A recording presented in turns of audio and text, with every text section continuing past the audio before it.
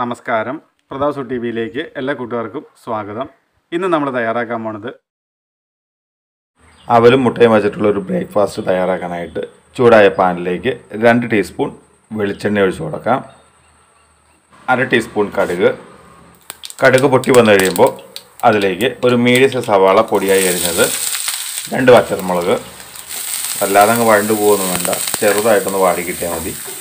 ഇതുപോലെ ചെറുതായി വാടി വന്നു കഴിയുമ്പോൾ അതിലേക്ക് രണ്ട് പച്ചമുളക് വട്ടത്തിലരിഞ്ഞത് രണ്ട് തണ്ട് കറിവേപ്പില ആവശ്യത്തിന് ഉപ്പ്.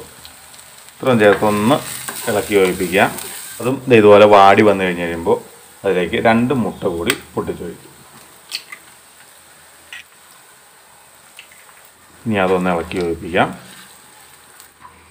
മുട്ട ഇതുപോലെ വെള്ളം പറ്റി വന്നു കഴിയുമ്പോൾ ഒരുപാടങ്ങ് വെള്ളം പറ്റി പോരുത് കേട്ടോ ഇതുപോലെ വെള്ളം പറ്റി വന്നു കഴിയുമ്പോൾ അതിലേക്ക് വെള്ളത്തിലിട്ട് കഴുകി വാരി വെച്ചേക്കണേ.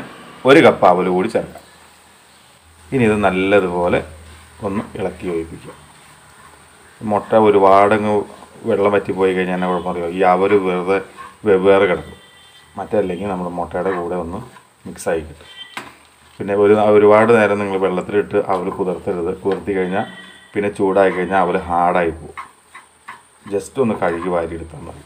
അപ്പോൾ നമ്മുടെ സ്വാദിഷ്ടമായ അവലും മുട്ടയും കൂടിയിട്ടുള്ള ബ്രേക്ക്ഫാസ്റ്റ് തയ്യാറായിട്ടുണ്ട്. നമുക്കൊന്ന് ടേസ്റ്റ് ചെയ്ത് നോക്കിയാലോ?